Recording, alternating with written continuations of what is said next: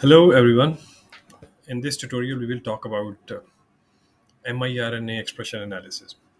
Uh, previously, uh, in my channel, you can see that I have uploaded multiple tutorials starting from RNA expression analysis using microarray data, RNA expression analysis using RNA-seq data, that is RNA sequencing analysis, then whole genome sequencing data analysis, and then copy number variation analysis but one and also methylation analysis uh, for the chip data. One thing I uh, was uh, already missing, and that was that miRNA expression analysis. That how to identify the differential expression, differentially expressed microRNAs in different uh, in that population of or in between the two groups. So for that, uh, in this tutorial, I will talk about the microRNA expression analysis using micro micro microarray data. So uh, you know there are two main uh, uh, famously used platforms. One is the Affymetrix, and one is the uh, Agilent.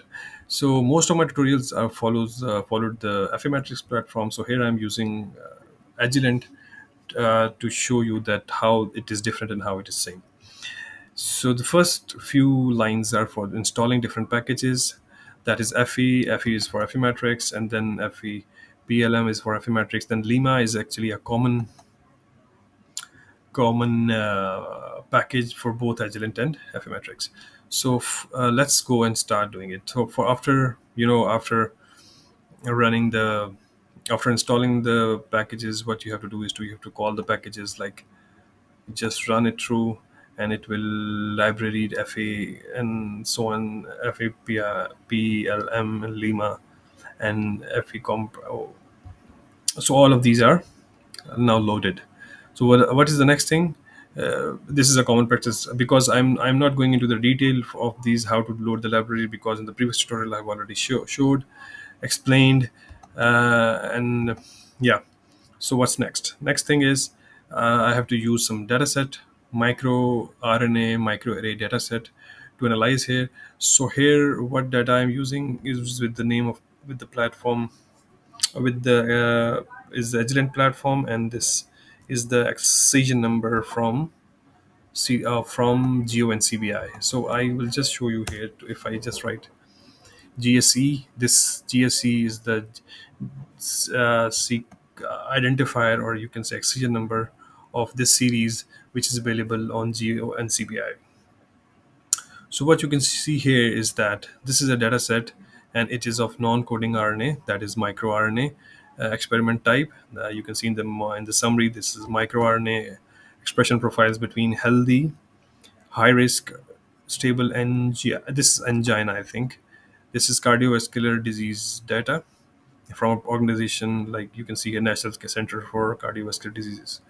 So this data is from microRNA and it is of the Agilent platform and there are total number of 35 samples.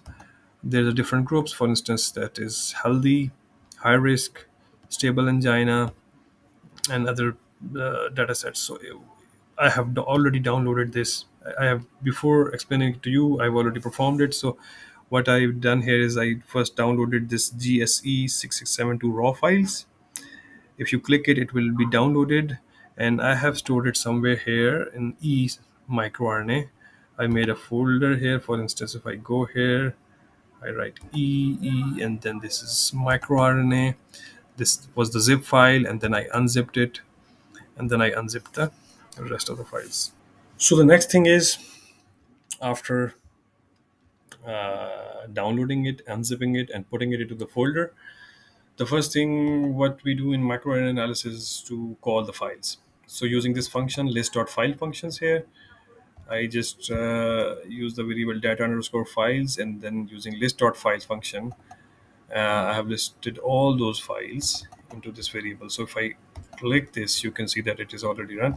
And if I sh show you that what is stored in data files is the is uh, sorry first I need to run the working directory. I forgot to run it. And now what does this mean? By setting up the working directory means that now whatever I'll do will be stored uh, will be done in this directory.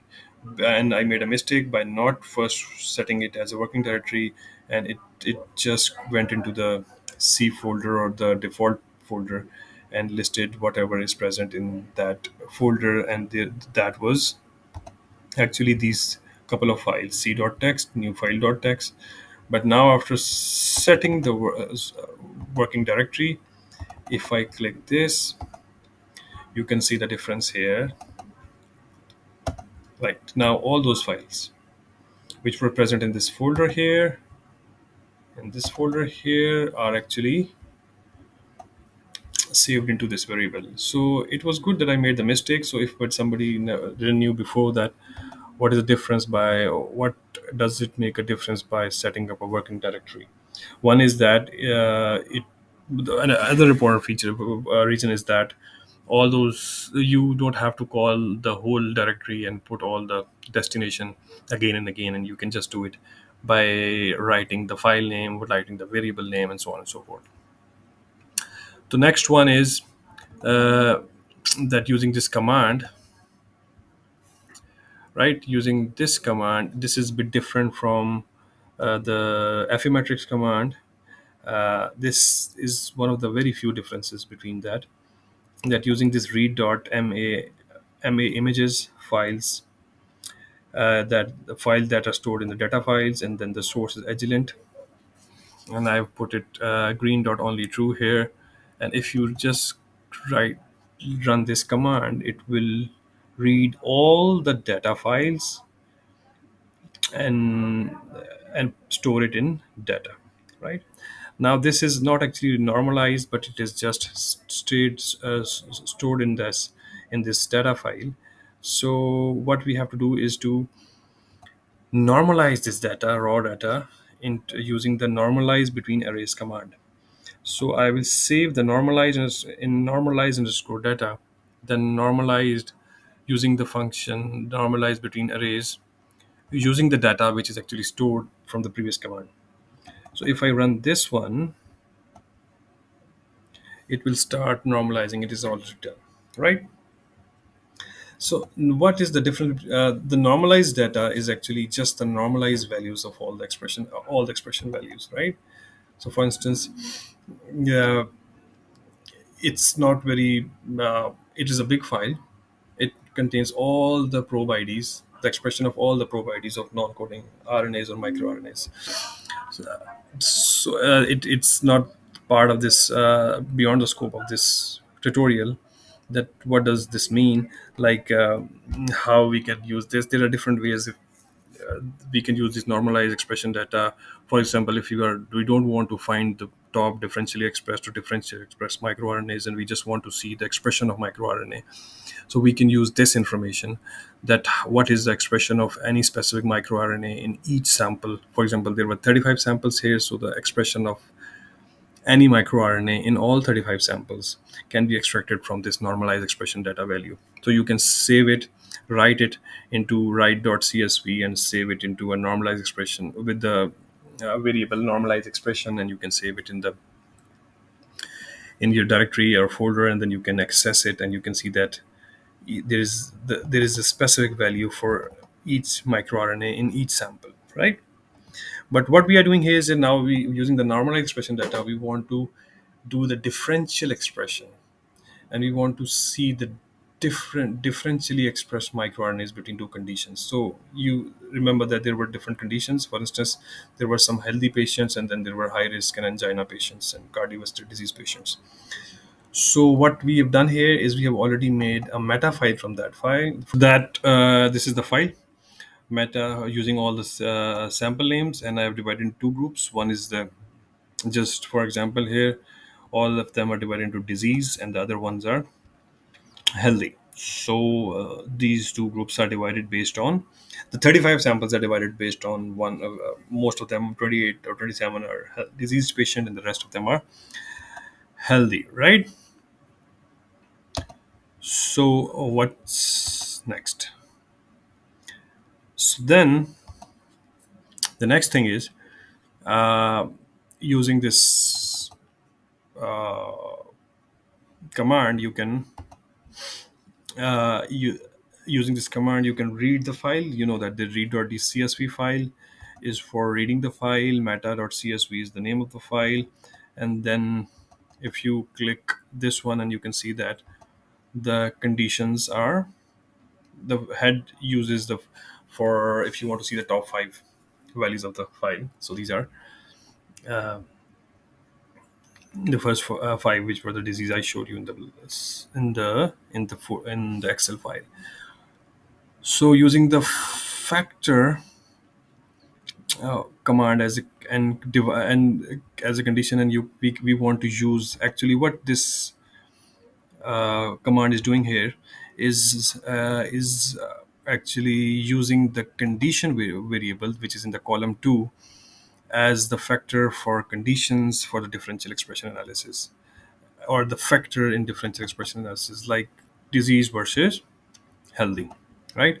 So now if you see here i make this one and if i just run this command you can see that there are two levels. One is the disease and the other one is healthy which these are the two factors uh, from the excel file of that uh, the or you can say the csv file and now we want to make the design. Like we are seeing that this is the design of the matrix. There are two groups. One is the one is the condition uh, is one is zero and one is other one is one. Zero is for the disease and one is for the healthy. And now uh, everything is ready. No, the data is normalized the meta file is called and then the and which is actually divided into two conditions. One is disease another one is healthy. And now using the lm fit command there are two basic commands for differential expression. So lm fit command will actually normalize the command and then eBayes fit command using that fit uh, variable uh, the, the the values which were actually using the lm fit command which were uh, saved in fit can be further used here. And then if you click this one now here now we have the list of all the differentially expressed microRNAs which are actually stored in fit right? And what we want to do here is we want to make a table and we want to save that into the results. Based on the false discovery rate we can change this like using the p values and we want to adjust using p values and whatever but here it is uh, i've adjusted it using fdr and fit is everything which is stored in this fit using eBayes and lm, lm fit command. And now if i run this results top table and, and run it it will save everything in results right? We can see it the top from here as well. Like for example if i write head uh, sorry head results you can see the top five. Uh, differentially expressed microRNAs here. Uh, i'll show you in the results. Just don't worry like for example this is the probe id this is the microRNA this is the log fold change and this is the p value so on and so forth. But i want to save it here. This results into a csv file. Just go there run it. And now the whole file is saved here. Right? And then if i go and show you in the folder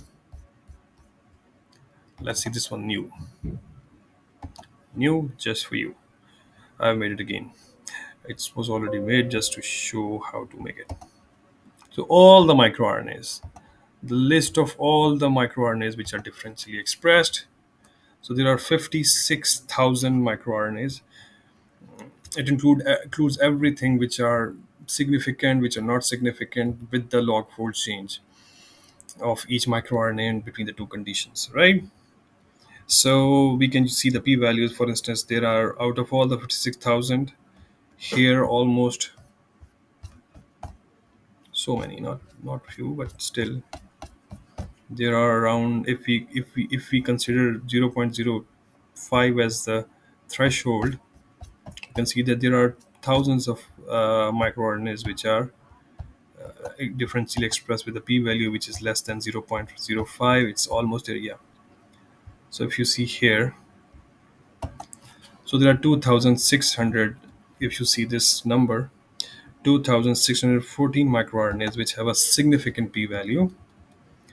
And we can say that all these are differentially expressed or they are significant expression. And then based on your threshold what uh, fold change you want to see and uh, what is your own question of interest you can go through right so i think that's enough. And uh, so I've, I've gone through each step in in too much detail so that you can understand how it actually works that um, uh, the how each each command works and how you can go get your answers of your question. Thank you. Uh, i will try to um, upload this script as well in the description but uh, youtube doesn't accept greater than sign so i will change that with some angle bracket command. So don't copy paste it. Just follow the tutorial and also change the script uh, slides change it when you want to use it as it is as it is available in the description. Thank you